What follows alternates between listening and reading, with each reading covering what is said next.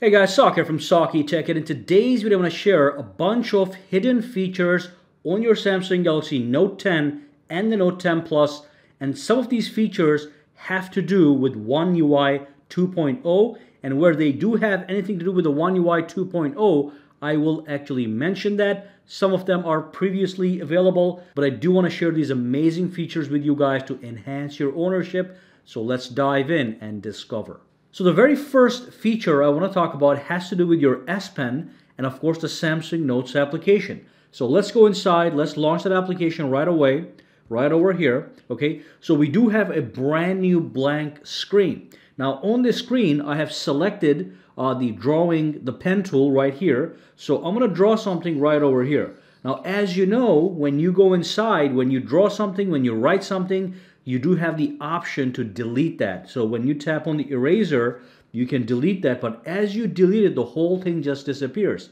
which is not good, especially if you're writing something or drawing something precise. So here's the other thing I want to talk about then. So let's go back to the pen. Let's draw something right here.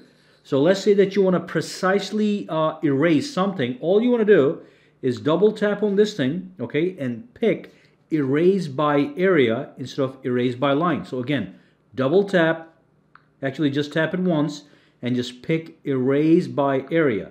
Now what you can do is you can pick the size of the erasure. Okay, let's just pick three. And you can specifically delete things like this. Okay, so that's much better than when you go to the default setting, which is erase by line, and just the whole thing goes away.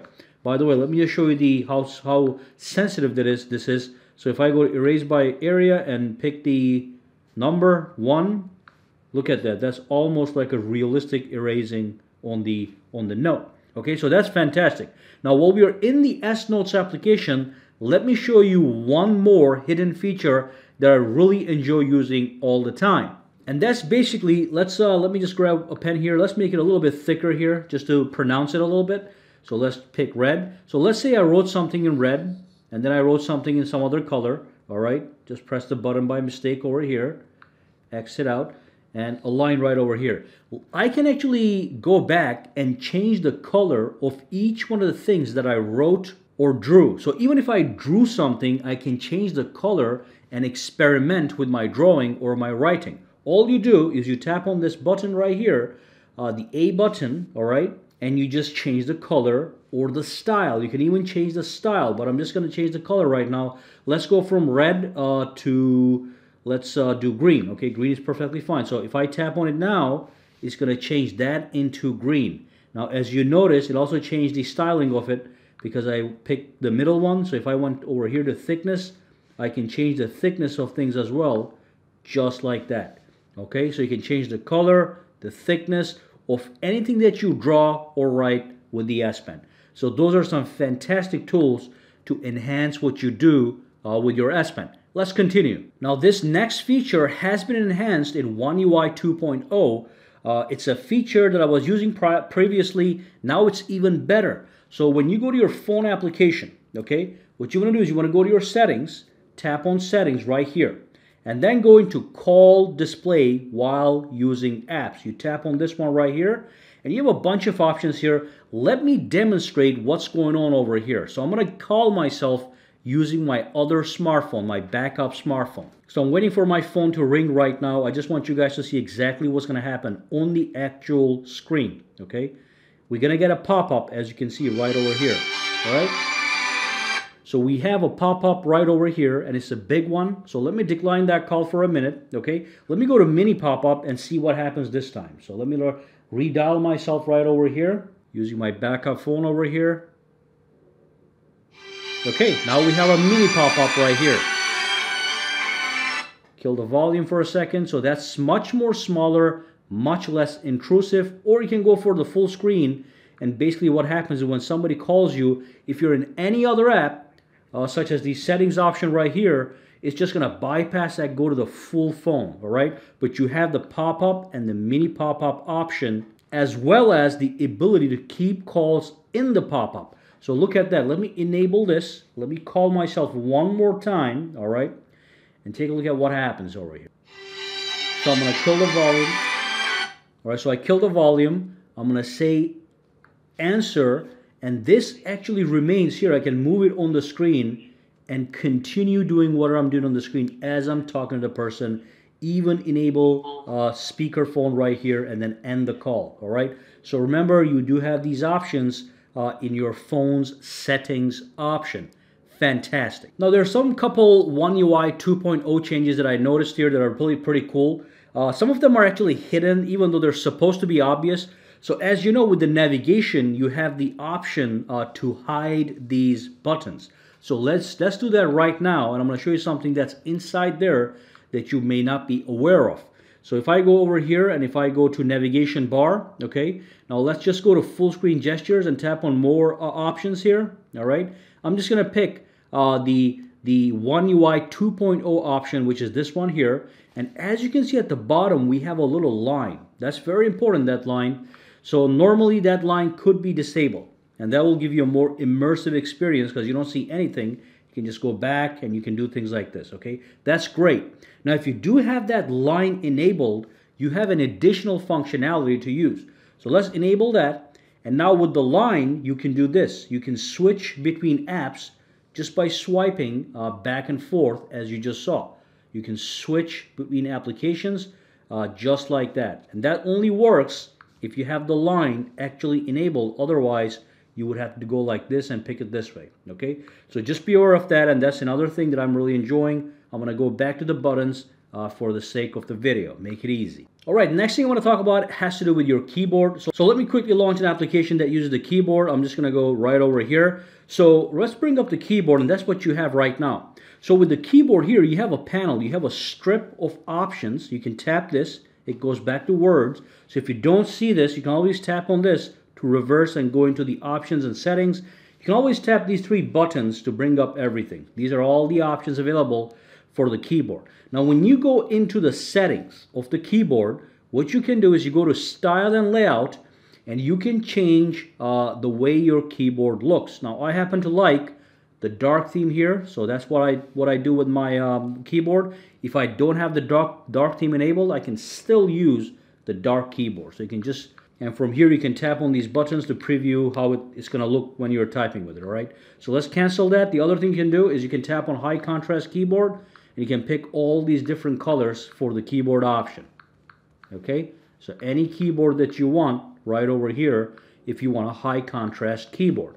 So that's fantastic. And the other thing here that you need to do is this is just for your convenience, all right? And you go inside, you can change the size of the keyboard. If you think that the keyboard feels a little bit too small for your large fingers or too big for your small fingers, you can resize it as you see. You click done and then you get the, uh, the brand new keyboard right here. Much more small, much more compact, easy to use even with one hand.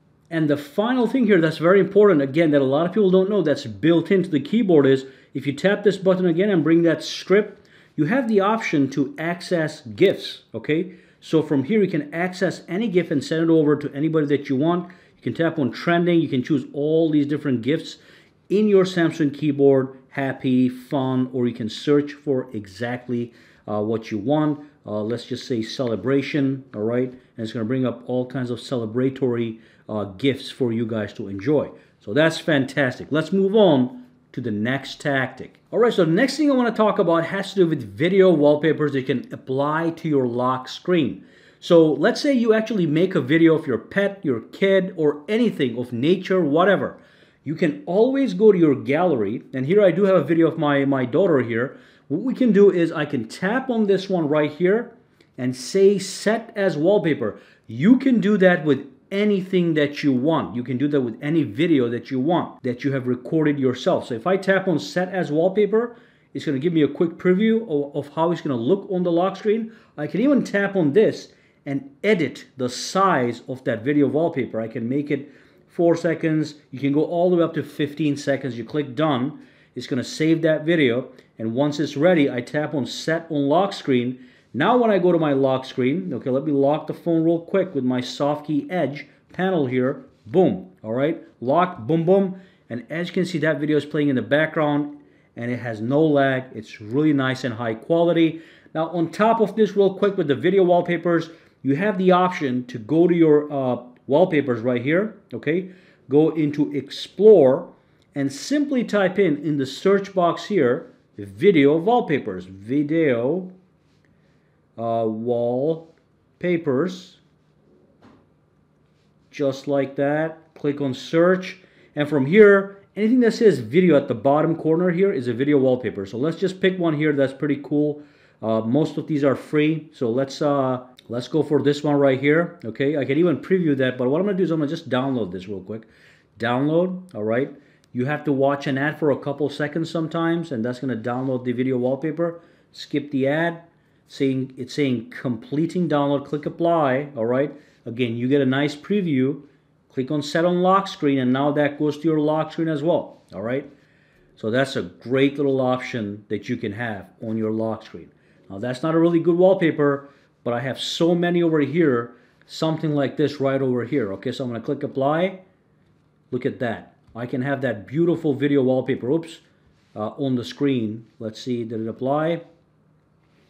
All right, absolutely gorgeous. All right, now a lot of people are not using their S Pen to their full potential. So let me show you one setting that you need to start using uh, if you want to use your pen as a, as a remote control for your smartphone. So let me just go to my settings real quick. I'm going to go into my advanced features right over here, okay? And then from here, I'm going to go to the S Pen and then go into Air Actions. Okay, so I'm not particularly interested in Air Actions. What I'm really interested in is just pressing the button. What happens when you press the button, okay? So for example, let's just use the gallery as an example. So I'm going to go to gallery and it says single press next item, double press previous item. Now when you tap on these, you can actually modify them. I'm just going to concentrate on single press and double press. So now I'm going to go into my gallery. Let's launch the gallery. Let's launch the gallery, and I'm just going to tap on this uh, this uh, this thing right over here. Okay. So what I'm going to do is I'm going to tap it one time, and it's going to go to the next item. When I tap it double times, twice, it goes back. Double tap goes back. Double tap goes back. All right. Tap once goes next. So these things you can configure uh, under Air Actions for all these applications and this application here as well. Okay, so that's a great little feature that a lot of people are not using from what I can tell. Alright, so that is the last thing I wanted to talk about in this video. I hope you guys learned something new and enjoyed this video. If you have any questions, comments, or concerns, drop them down below and let me know. For now, guys, have a fantastic day, alright? Alright, so if you found this video useful, make sure to subscribe to Saki Tech by clicking that button and also click that bell icon on the side to make sure you get notified every time I upload a new video. And if you do use Twitter, Instagram, or Facebook, you can follow me at SakiTech Online to get the latest updates as well. Alright, have a fantastic day.